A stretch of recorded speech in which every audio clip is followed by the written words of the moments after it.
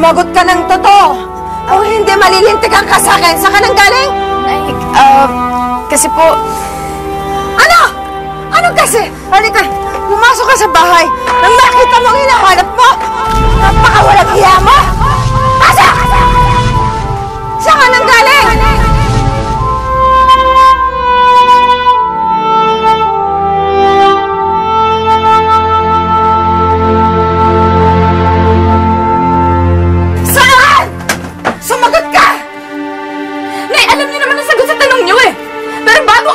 Mga kapitbahay natin ni Chismosa, hayaan niyo muna ako magpaliwanag. Eh di totoo nga ang mga naririnig ko. Hindi ba ilang beses ko na sinabi sa'yo na hindi ka sasama doon sa Eric na yon? Napaka-immoral mo! Immoral? Nay, sinong immoral sa ating dalawa? Hindi ba immoral yung ginagawa niyo? Hindi ba immoral yung trabaho niyo? Ano na lang ang sasabihin ni Itay kung nabubuhay pa siya? Sumasagot ka ba? Sumasagot ka ba? Oo! Alam ko! Alam ko! Hindi magugustuhan ng tatay mo ang ginagawa ko!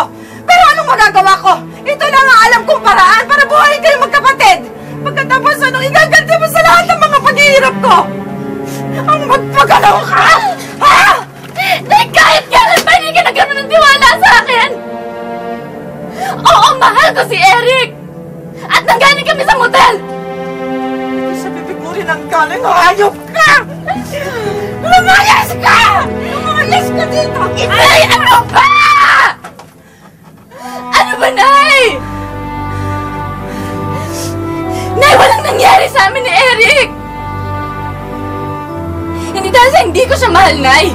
Pero dahil mas mahal ko kayo ni Habagat kesa sa kanya. At wala akong planong sirain ang lahat ng pangarap ko para sa pamilyang to nang dahil sa pag-ibig, Nay.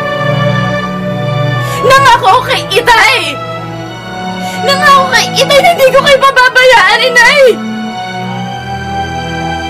At wala akong planong sirain yung pangakong yun kahit kailan! Naiintindihan niyo ba ako?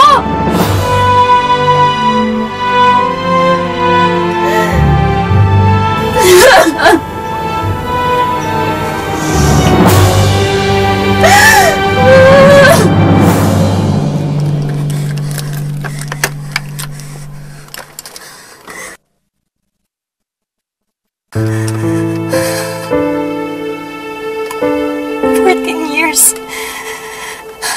Wala pa rin nagbago. Ganun pa rin si inay. Awa naman si Maningning. Awa naman ang kambal ko. Mas masahal pa sa bulok na isda ang buhay niya kapiling ang nanay kong lasinggera.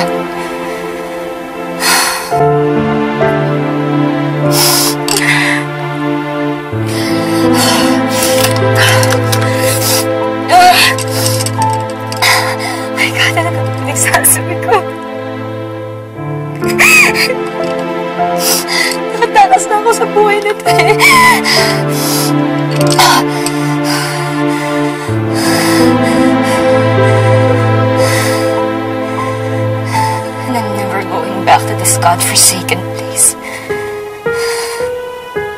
Never.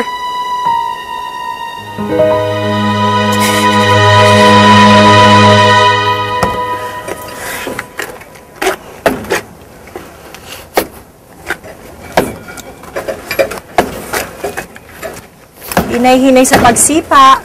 Baka pumutok yan. Ha? Hindi mo ba ako naaalala? Kanina lang tayo nagkita, no? Doon sa motel. Di ba ikaw yung iniwanan ng jowa? Hmm, teka. Jowa mo ba talaga yun o trip-trip lang? Ano ba pakialam mo? Suplado naman ito. Paano lang pa?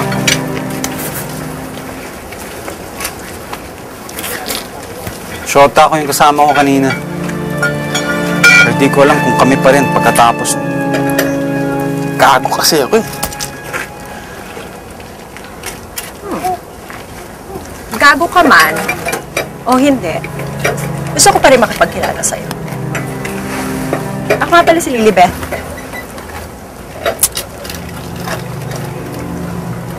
Eric, Eric, ang gagong boyfriend.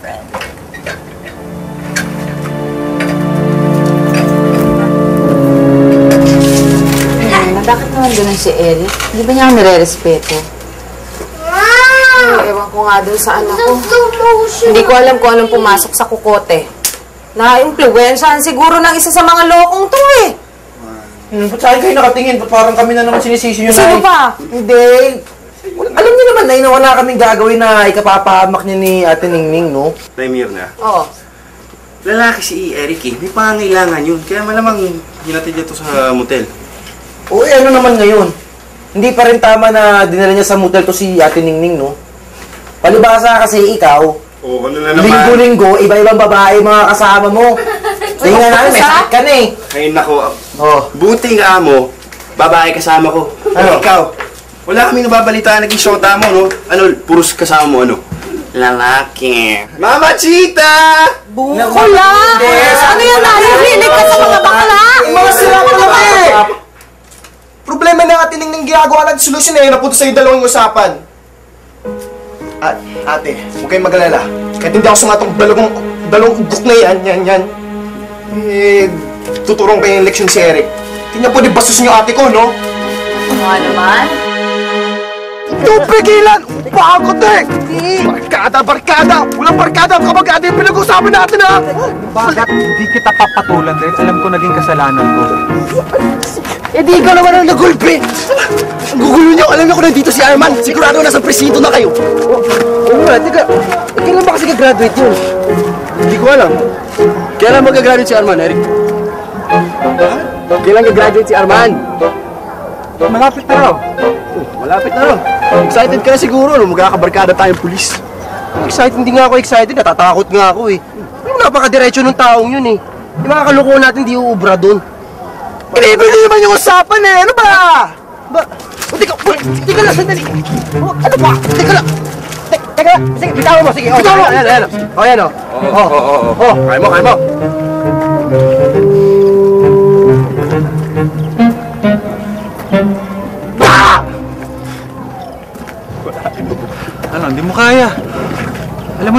Gaganti, di ba? Iniisip ko kasi na hindi mo talaga gusto masaktan si Ate Ningning, di ba? Mahal mo siya, di ba? Tol, mahal na mahal. At mahal ka rin nun kahit gago ka. Hindi na ako makakailan sa problema niya. ah. Salamat. Oo. Oh, yun naman pala eh. Eh di okay na, kita mo. Sandali, sandali. Hi, miss. Chucheche. Umpisa lang yan. Yan, gusto niyo ba yung shota ko? Shota mo? Ah, shota mo ba yan? Oo nga, mukha nga. Saan yung hamon nyo? Yung ba yung hamon nyo? Tapos nandito dito para magulo, okay? Hamon yan.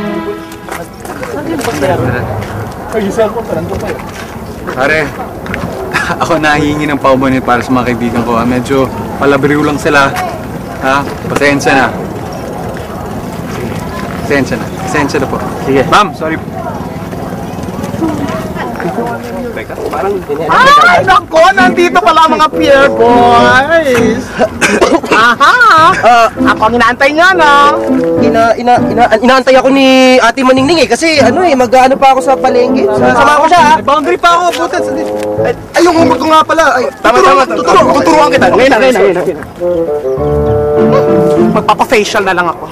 Ano nga itong tinutulungan? Parang gagalit eh. Sinasabi ka? Ano sinasabi ka? Wala, sa ano kasi sa inyo na gusto yung kumain ng something. Ayun nga sinasabi ko sa sarili ko, araw-araw ko na nga itong ginagawa, kaya nandito ako nagsasanay.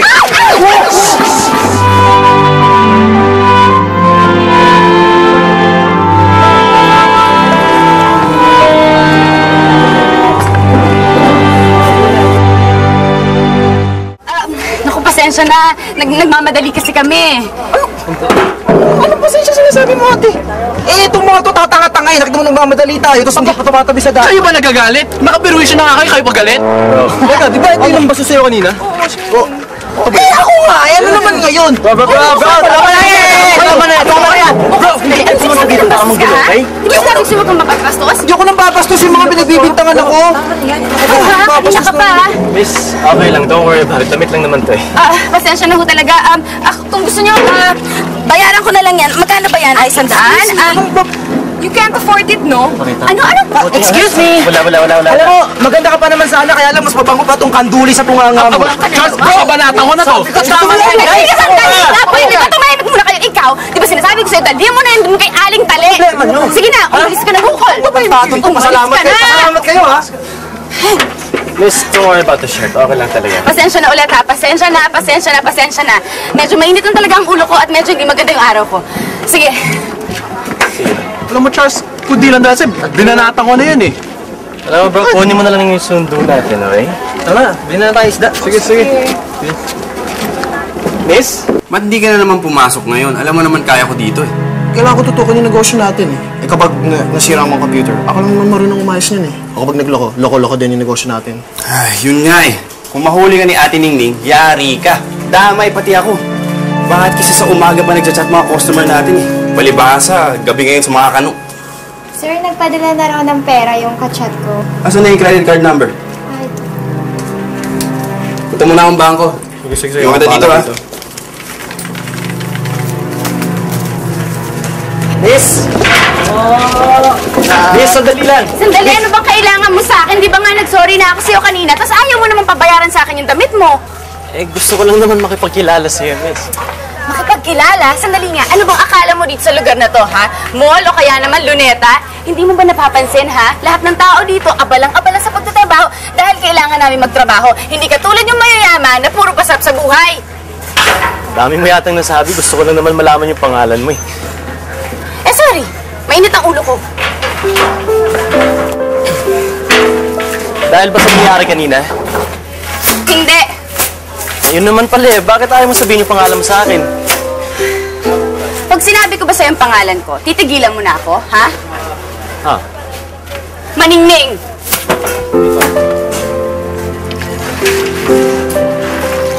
Maningning! Ano ba? Charles nga pala pangalan ko. Charles! Charles, mamukha mo!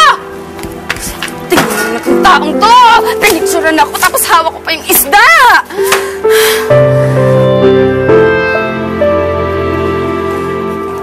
Bro. Ganda niya, di ba? Sino yan? Eh di sino pa? Yung nakabangga natin kanina. Nandun? Oo. Magandang isda, laki oh. Diba? I don't like how it Wala eh. Ano pong gagawin ko? Hi, Charles. Are you busy? Yeah, I'm busy. Ba't ka napatawag? Wala lang. Na-miss kasi kita eh. Um, hindi mo ba ako na-miss? Uh, I'm kind of in the middle of something. Can you call some other time? Ah, ah, anong ginagawa mo? Um, pwede ba kitang makita today? Ah, no. Ah, nasira kasi yung motorsiklo ko eh, kaya inayos ko ngayon. Ah, talaga? Eh, bakit kasi hindi ka pa bumili ng bago? I- if you want, I can pick you up. I told you I'm busy, okay? And I don't want to waste my money buying a new bike when I know I can fix the old one, okay? I'll just talk to you soon. Okay, I miss you. Bye. I'll...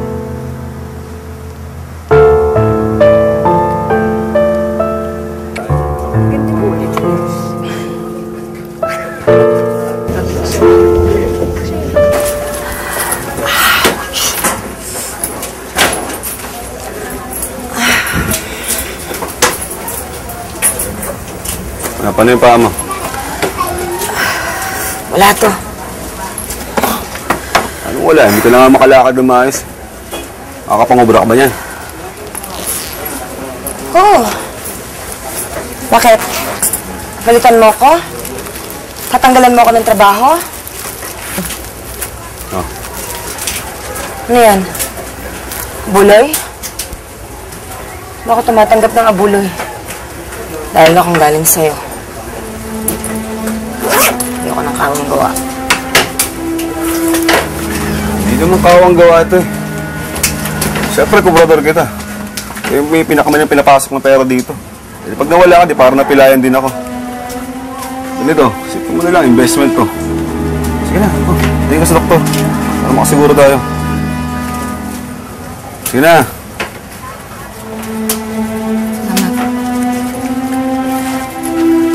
Malang araw, mababayaran din kita. Trabaho mo, bayad mo. Kaya ngayon pa lang, bayad ka na. Sige. Sige. Pare, kanina ka pa nakatingin sa picture dyan sa cellphone mo ah. Sabihin mo nilap ko sa tindahan ng isda. Oo nga naman. Parang nga eh. Ano ba nakita mo dyan sa babaeng yan? Ikaw parang wala dyan sa mga ibang ex mo. Sobrang magkaiba sila. Just look at Daphne. Yun nga bro eh. Iba siya. Okay? Palibasa, siya lang yung babaeng pumansin sa'yo. Baka naman na-challenge ka na kaya akala mo gusto mo siya. Challenge man o hindi, basta gusto ko siya. Okay? Gusto mo na akong gusto. Pero, pwede ba akong mag-request sa'yo? Ano yun, ganda? Dalta mo naman yung sando mo. Baho mo na eh. Ito? Ito? Mag-taste na lang kayo. Remembrance ko to sa unang pagkikita namin ni Maningning, no? Yan. Yan kasi. Ewan ko ba naman sa'yo, no? hindi ko rin alam kung ano bang pumasok dyan, dyan, dyan sa kokote mo, kung bakit mo naisip, nasasama ako sa'yo sa motel. Papakasakali lang naman ako eh, mga anay mo. Hindi ko makakalain, iiwan mo ako doon, mas mabakang pang sampal. Sakit na, no? Dapat lang naman talaga sa'yo yun eh. Ewan, parang kang may sayad eh. Baka naman ginayuma mo kaya, kaya ako nagawa yun. Ginayuma? Aba, Eric, mga bata pa lang tayo, may gusto ka na sa akin, nililigawan mo na ako. Hindi na kita kailangan pang gayumahin, no? Salamat ka nga, sinagot pa kita eh. Nga pala, galit pa ba yung nanay mo sa akin? Malamang. Ikaw, pinapatawad mo na ako. Hindi naman mahirap magpatawad kapag mahal mo yung isang tao, di ba? Ibig sabihin, pinapatawad mo na ako. Oo. Pinapatawad na kita.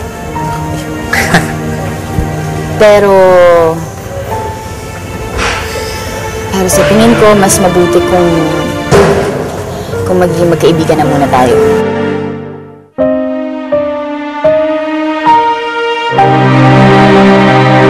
Tawad mo na ako. Tapos ngayon, hinihiwalayan mo ako. Ganun ba kalaking naging kasalanan ko sa'yo? Hindi naman yun ang dahilan eh. Sinubukan kong pagsabayin ng dalawang bagay. Ang mahalin ka at ang mahalin ng pamilya ko. Pero hindi yata talaga pwedeng pagsabayin ng dalawa eh.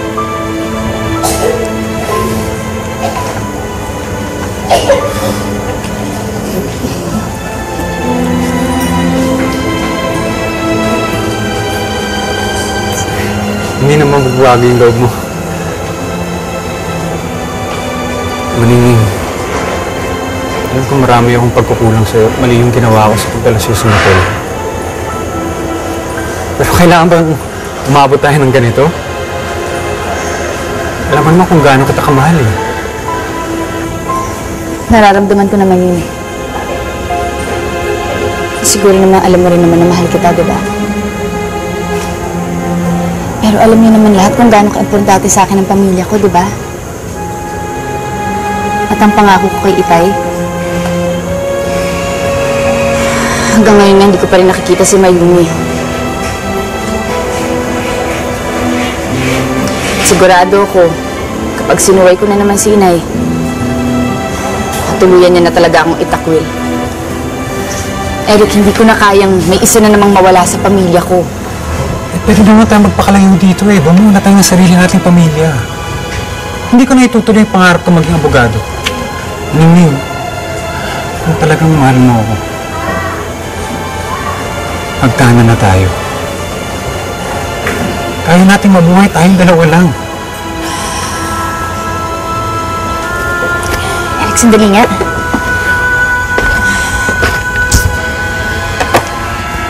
Hindi mo ba ako naiintindihan? Mas mahalaga sa akin ang pamilya ko. Sa ngayon. O sige, kung buo na yung loob mo, wala na akong magagawa. Pero, hindi ako titigil sa pagmamahal sa'yo. Handa akong maghintay. Mahal. Ma? Ano sa tingin mo dapat kong gawin kay Charles? Feeling ko kasi hindi niya na-appreciate yung mga ginagawa ko for him eh. And he's taking me for granted. Ay, nako, Daphne. Hindi ko maintindihan kung ano ang gustong-gusto mo dyan kay Charles. Ang dami naman lalaki nagkakagusto sa'yo. Kasi he's my prince. Alam mo yun, yung... Yung bata pa lang ako, siya na yung lagi kong na-imagine. Siya na yung ideal man ko. He takes you for granted because he knows you'll always be around. Dapat magpamis ka. Go abroad. Take a course. Pagbalik mo, marirealize niya, mahal ka niya. Sigurado ka ba na mag-work yun?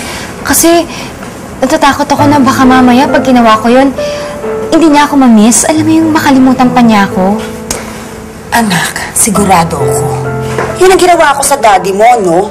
Nagpakalayo-layo ako. One day, hinabol-habol niya ako. At nagyaya magpakasal. Nung dumating yung araw na yon, hindi ko na siya pinakawalan.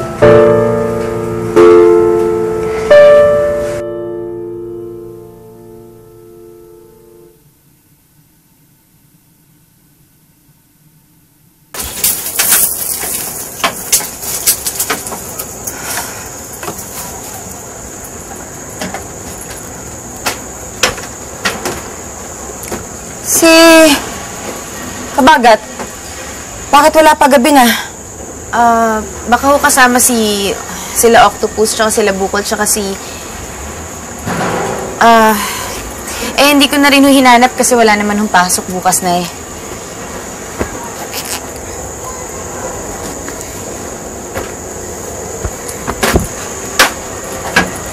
Oh. Na paano ho yung paa nyo? Ha? Wala. Natapilok lang ako. Tsaka na para ho saan to? Saan pa? Eh di sa tuition mo. Pumunta ka sa tindahan. Bili mo ko ng bilog, nakalimutan kong dumaan eh. Aray. Oh, saan ka papunta? Nay, sabi nyo, bumili ako ng alak nyo. Eh, ibabawas ko na lang ho dito. Ay, hindi, hindi, hindi. Iba yung sa pag-aaral mo. Iba yung sa bisyo ko, oh. Isan mo.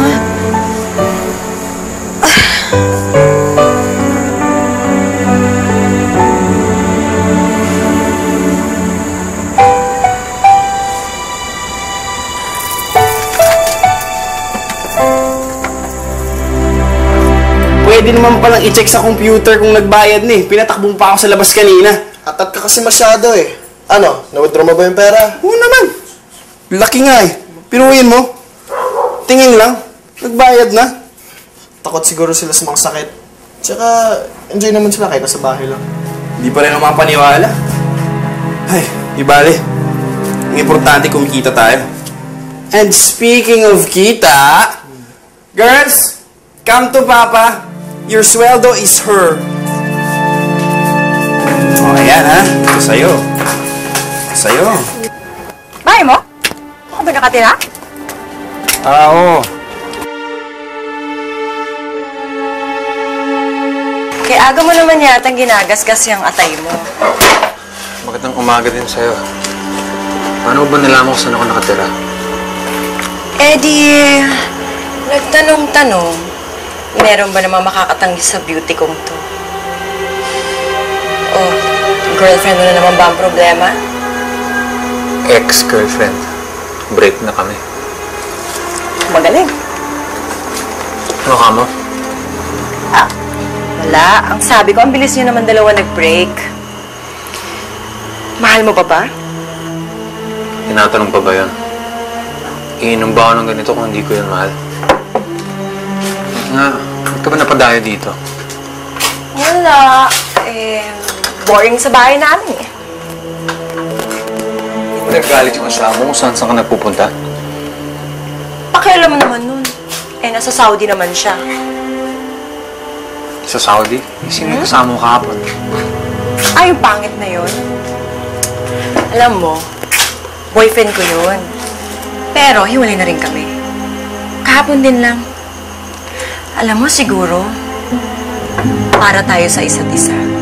Kaya sabay tayong nakipag-break sa mga jowa natin. Hindi ako ang nakipag-break. Ako yung hiniwalayan.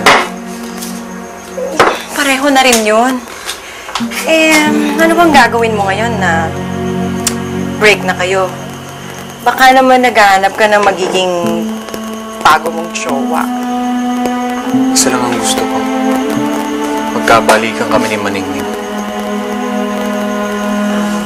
Ganun ba? Eh suyuin mo. Yun naman ang gusto naming mga babae eh. Yung sinusuyo kami. Doon kami bumibigay. Pero kung ayaw bumigay, ako lahat ibibigay ko.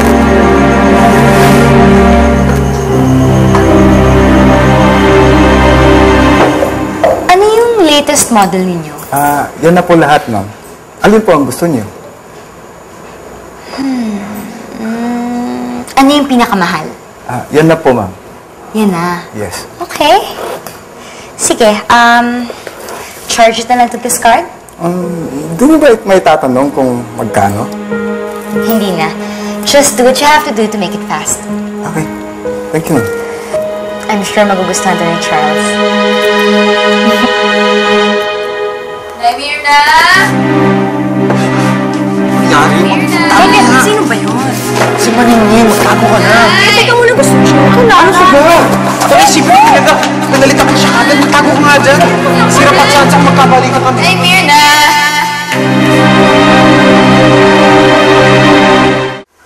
Eric, kumusta? Okay lang. Ikaw? Ayos lang, ganun pa rin. Ah, asa si Nay Mirna? Ah, wala. Naglabad dun sa mansyon. Sandali. Bakit, ano, bakit parang may naririnig akong boss dito kanina? May kausap ka ba?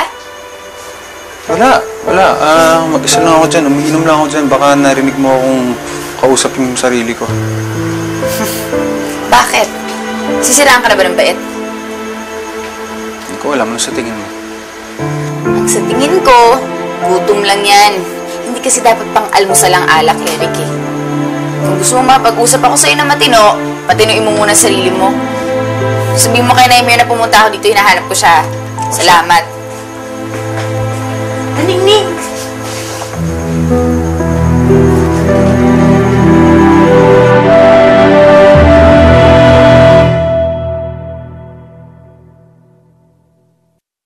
afternoon, sir. Is this Mr. Sigmund Pertiera?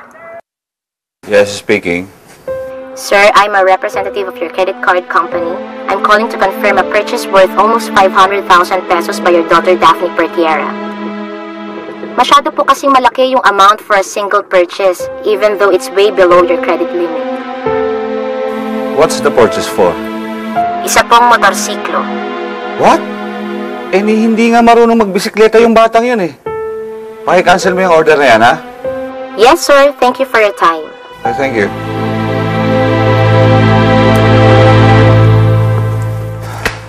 Bakit mo kinancel yung binili ko? Bakit kailangan mo ng motor? Hindi ka naman nagmumotor eh. So what? It was supposed to be a gift for someone. Para sa akin, hindi ako nagmumotor. Alam mo yon? Not for you.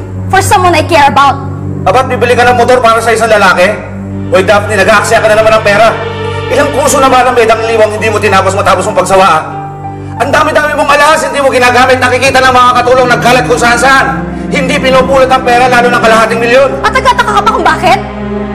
Yun lang naman ang kaya kong hingin sa'yo eh. Pera lang ang kaya mong ibigay sa akin. Kahit kailan naman di ako nakaramdam ng pagmamahal galing sa'yo. You've never been a good father to me. At ikaw, kailan ka naging mabuting anak? Puro sakit ng ulo binibigay mo sa akin. Naghahanap ka ng pagmamahal? Ha? Patunayan mo muna sa akin na karapat-dapat kang mahalin. Hate you! I hate you! Kahit kailan talaga, hindi mo inisip kung anong gusto ko!